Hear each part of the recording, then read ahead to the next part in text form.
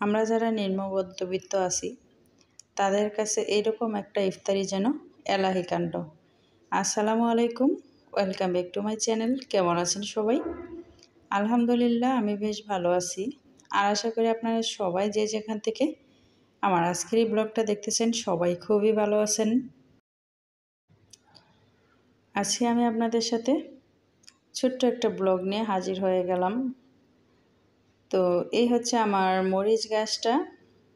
তো একবেলা একটু পানি না দিলে মনে হয় যে মরে যায়। আর এই যে এটা হচ্ছে বোম্বাই মরিচের চারা, এটাতে কিন্তু এখনও মরিচ ধরেনি। আর এলোভেরার চারাটা বেশ ভালোই হচ্ছিল। তো রোজা আসে আসলে এলোভেরাটা তেমন একটা ব্যবহার করা হচ্ছে না। আর আমার এই যে পাশের প্লটে অনেক বেশি কলা গাছ ছিল, তো সেই প্লটটাতে কাজ হবে। এখানে আবার একটা সাপড়া তৈরি করতেছে। যারা পাইলিং করবে তারা থাকার জন্য। তো এতদিন ধরে যারা ব্লগটা দেখতেছেন, তারা অবশ্যই বুঝতে পারতেছেন, মোটামুটি একটা কিন্তু সাউন্ড হয়। তো এখানে তারা টাঙ্কির জন্য কিন্তু অলরেডি জায়গাটা রেডি করে নিয়ে এসে টাঙ্কিটা তৈরি করে নিয়ে এসে এখন পাইলিংয়ের জন্য। লোকগুলো যে থাকবে তো এখানে একটা সাফরা হচ্ছে। তো বেশ আওয়াজ হয়।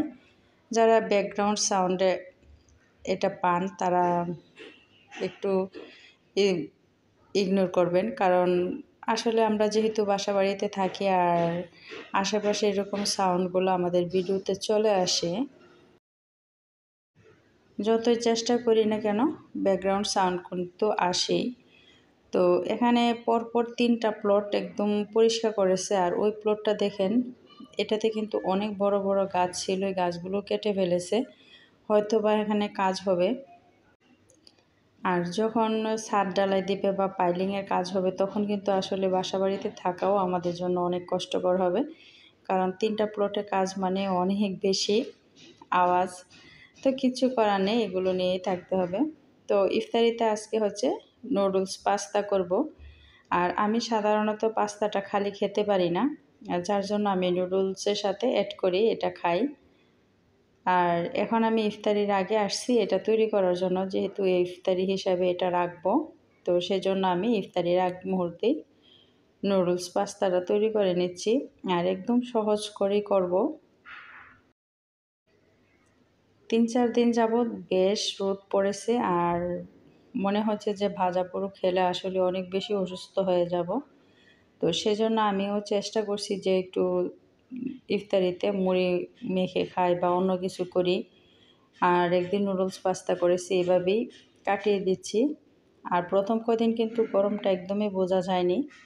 আর এখন যেহেতু গরম পড়েছে তো সেজন্য ইফতারিটা একটু বুঝে শুনে খাওয়াটাই উচিত। আর ইফতারিতে কিন্তু বিশেষ করে ভাজা পোড়াটাই মজা লাগে।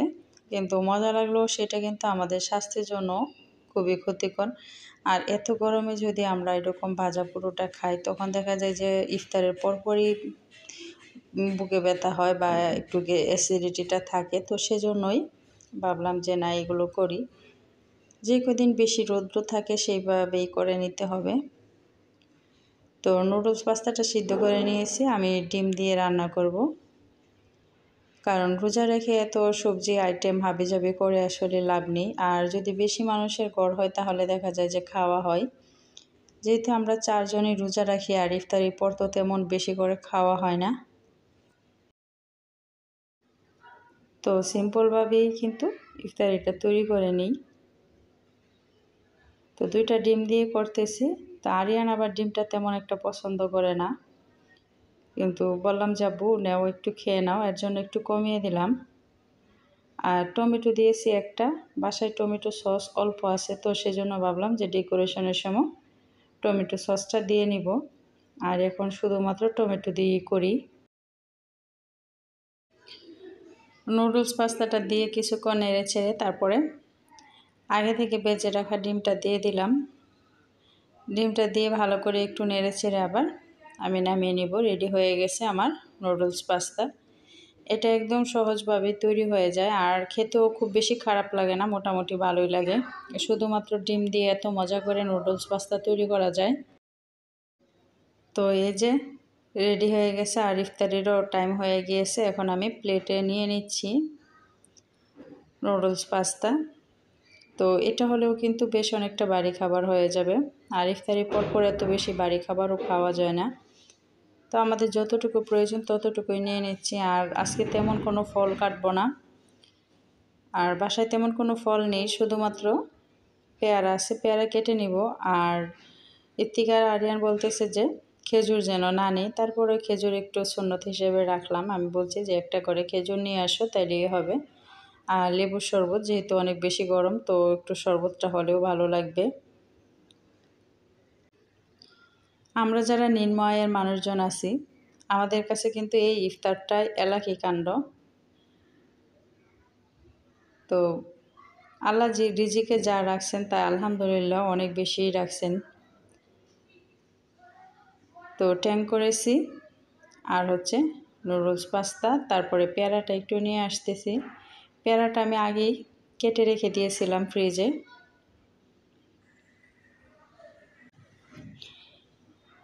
তো যারা আমার আজকের এই ছোট্ট ব্লগটা আমার ইউটিউব চ্যানেল থেকে দেখতেছেন, তারা আমার চ্যানেলটা সাবস্ক্রাইব করে সাথে থাকা বেল আইকনটা অল করে দিবেন। আর যারা ফেসবুক পেজ থেকে দেখতেছেন, তারা আমার পেজটাকে লাইক আর ফলো দিয়ে সাথে থাকবেন। তো সবাই ভালো থাকবেন, সুস্থ থাকবেন। দেখা হবে নতুন কোনো ব্লগে। সেই পর্যন্ত সবাইকে আল্লাহ হাফেজ। আসসালামু আলাইকুম।